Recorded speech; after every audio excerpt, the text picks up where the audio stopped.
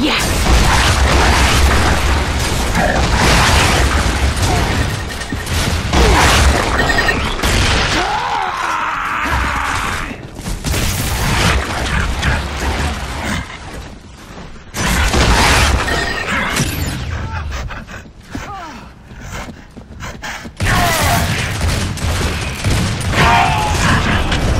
It true?